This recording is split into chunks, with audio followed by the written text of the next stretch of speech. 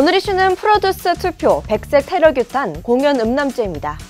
바른미래당 하태경 의원이 엠넷 오디션 프로그램 프로듀스 X101의 투표 조작 의혹을 제기하며 검찰의 수사를 촉구했습니다. 왜 정치인이, 국회의원이 10대, 20대 연예인 프로그램에 관심이 있냐? 이것은 단순 연예인 프로그램이 아니라 채용 비리 문제였기 때문입니다. 마지막 생방송 경연에서 1위부터 20위까지의 문자 득표수 차가 특정 순위별 득표수와 일정하게 반복되는 모습이 포착되면서 조작 논란으로 확산된 건데요. 일부 팬들은 프로듀스 X101 진상규명위원회를 꾸리고 변호사를 선임해 법적 대응을 모색하겠다고 밝혔습니다. 제작진은 실제 득표수가 아닌 득표율에 따라 환산된 득표수가 잘못 공개됐다며 일부 실수를 인정했지만 순위에는 변동이 없다고 해명했습니다. 하지만 제작진의 해명에도 불구하고 논란은 가라앉지 않고 있어요. 결국 오늘 엠넷 측은 다시 공식 입장을 밝혔는데요. 자체 조사를 진행했으나 사실관계 파악에 한계가 있다고 판단되어 공신력 있는 수사기관에 수사를 의뢰하겠다고 밝혔습니다.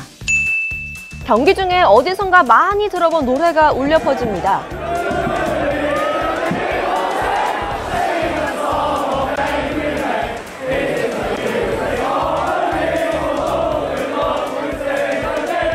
뮤지컬 레미제라블의 주제가 민중의 노래가 들리는가 송환법에 반대하는 사람들이 백색 테러를 규탄하기 위해 기획한 시위인데요. 지난 21일 밤 흰옷을 입은 100여 명의 남성들이 송환법 반대 시위자들과 시민들을 무차별적으로 공격했습니다. 최소 45명이 다쳐 병원으로 이송된 것으로 전해졌는데요. 이에 시민들은 21일의 백색 테러를 기억하자는 의미에서 전반전과 후반전 21분에 민중의 노래를 불렀습니다. 이후에도 관중들은 송환법 반대를 외치며 시위를 이어갔고요.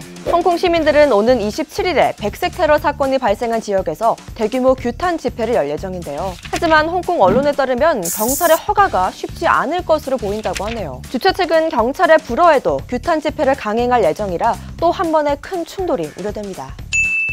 얼마 전 카페에서 엉덩이가 보일 정도로 짧은 하의를 입은 남성의 사진이 화제가 됐었죠. 이를 본 손님이 경찰을 신고하면서 이 남성은 붙잡혔습니다. 하지만 공연 음란죄를 적용하기는 어렵다고 하는데요. 음란하지 않았기 때문에요. 성향이 묘사 등을 하지 않고 음료만 구매해 음란에. 해당하지 않는다는 거죠. 게다가 경찰에 따르면 당시 이 남성은 속옷 차림이 아닌 짧은 가죽 재질의 하의를 입고 있었다고 합니다. 속옷처럼 보이지만 알몸이나 속옷 차림이 아니었기에 경범죄 처벌법상 과다 노출로도 처벌이 어렵고요. 다만 카페 업주가 이 남성을 업무 방해 혐의로 경찰에 고발해 조사가 진행 중이라고 하네요. 구독과 좋아요도 잊지 마시고요. 저는 다음 주에 또 만나요. 안녕!